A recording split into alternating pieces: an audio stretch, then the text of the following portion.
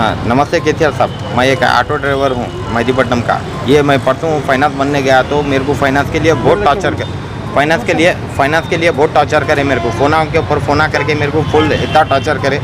Lockdown का भी ई मेरे को बनो तो बनो बोल के बहुत टॉर्चर कर रहे ये पद्मशाली फाइनेंसर है।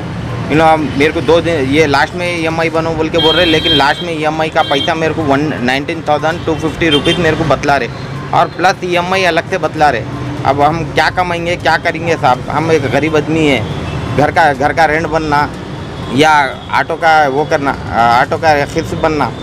हमारे को खाने पीने को पैसा नहीं निकल रहा। दो पैसेंजर को बैठा तो हमारे को कुछ, हमारे को कुछ पैसा नहीं निकल रहा हमारे को। तो अब घर वालों को रेंट रेंट रेंट हाउस वालों को कैसा संभालना? ये ऑटो फाइनेंसरों को कैसा संभालना? हमारे को कुछ समझ नहीं आ रहा था बहुत दिमाग ख़राब कर दे रहे ये लोग हमारे को। पर हम पैसे बनने गए तो इंटरेस्ट पैसे बनने गए तो हमारे को इंटरेस्ट में काट ले रहे हमारे को। लेकिन के दो पैसेंजर बिठाने में हमारा पेट नहीं भरता? उसके बावजूद घर संसार, बच्चे बच्चे घर किराया, बिजली, लाइट बिल, ये नहीं हो सकता उसमें। इसलिए हमारा मुतालबा है आपसे, फाइनेंसर बैंक लोन्स ये जो है हमको बहुत परेशान कर रहे हैं फाइनेंसर वाले।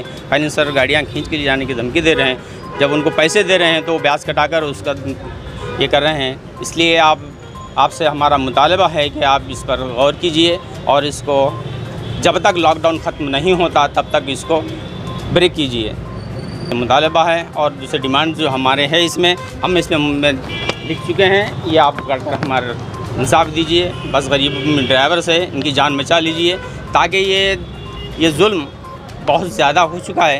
ये जुल्म सितम सहने के सहते सहते ये ऑटो ड्राइवर्स अब आखिरी स्टेप पर आप पहुँचे हैं, लेकिन इसके आगे हम नहीं बोलेंगे।